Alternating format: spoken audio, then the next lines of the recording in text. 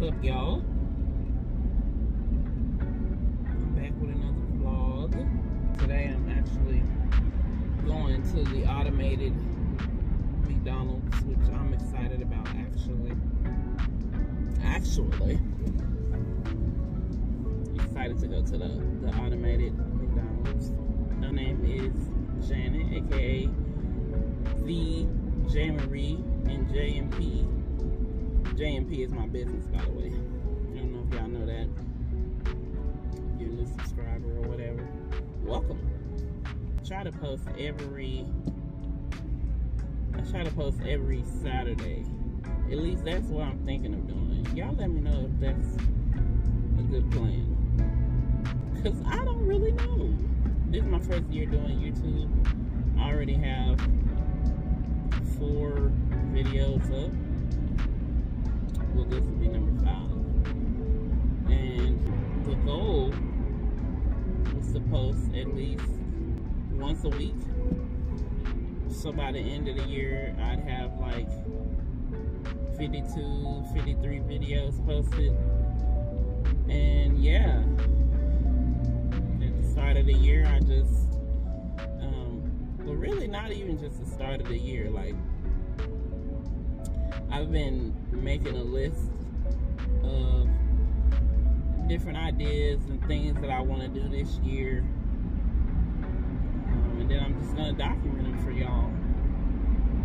So I can see a little bit about what life is like for me. And yeah, get to know me on a more personal level. I mean, if, if you follow me on Instagram, that's at, at J Marie Photography Co.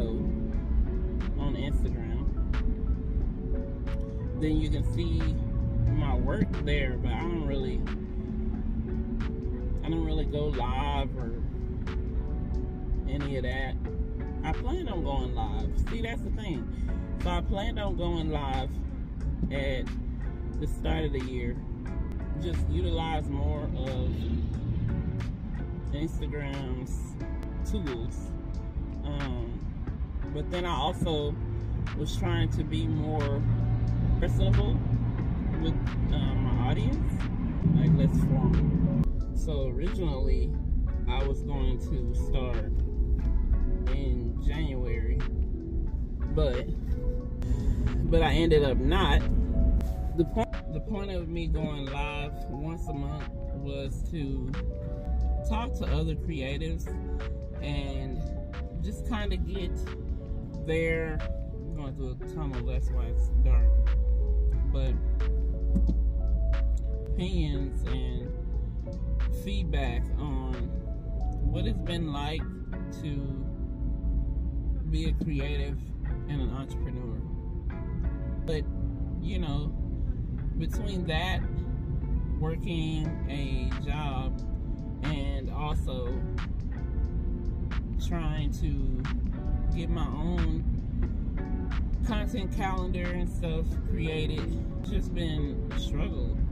So yeah, I just I just figured that I would start in March.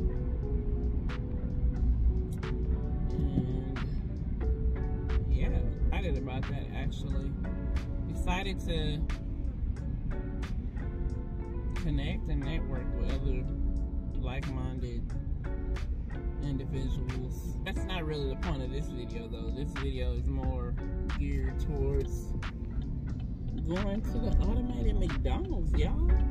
So yeah, I guess whenever I get um, there or get closer, I'll come back y'all. See y'all in a little bit.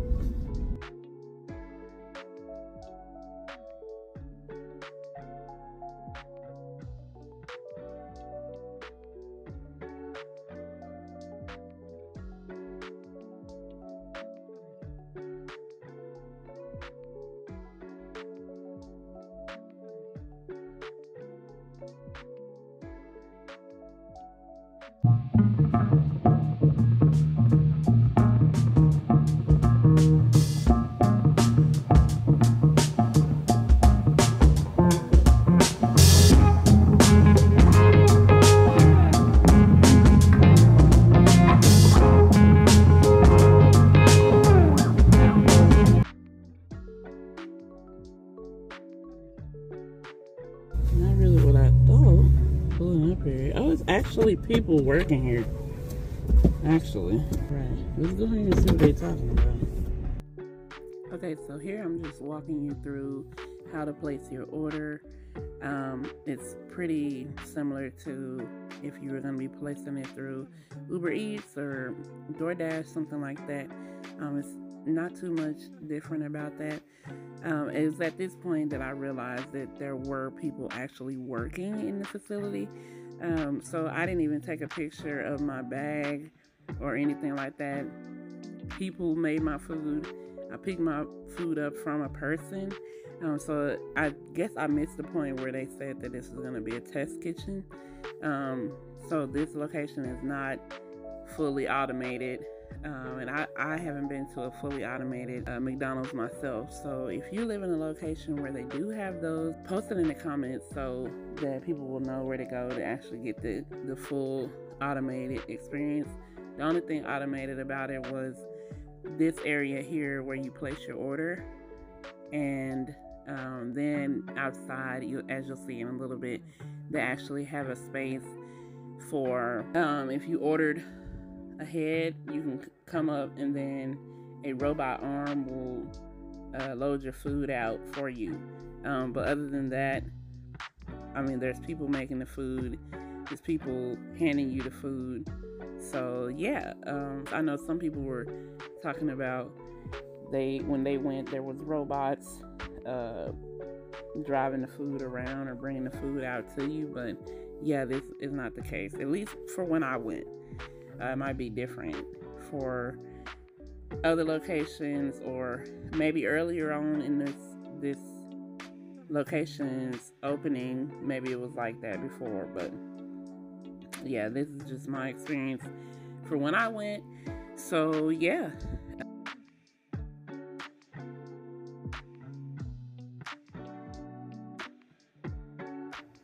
Yeah this clip right here is just me and my brother and our, our other brother that's on the computer right now discussing our podcast, and that's going to be coming very soon.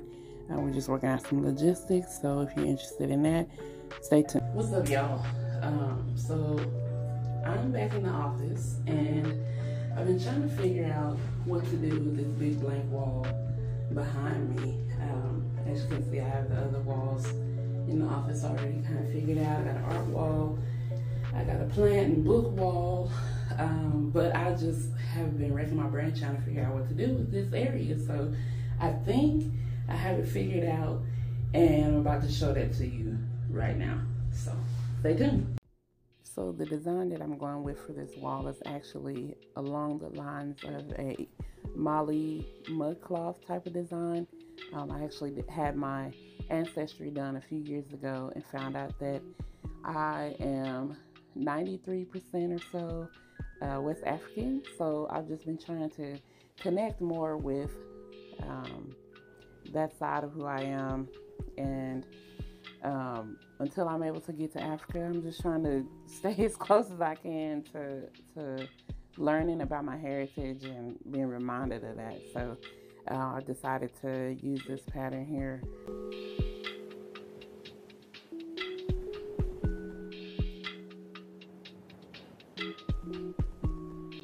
I also wanted this to have a little bit of a um, like worn design, so that's why you'll see some parts of the wall. I'm not going back over the spots that kind of look like um, the white is showing through.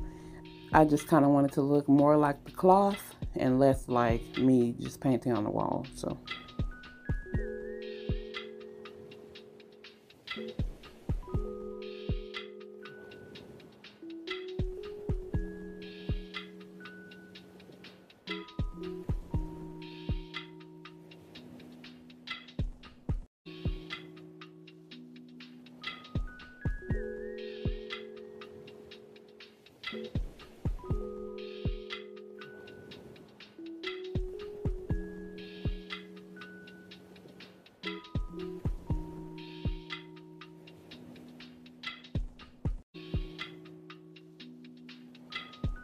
That's going to do it. So stay tuned for the big reveal in three, two, one.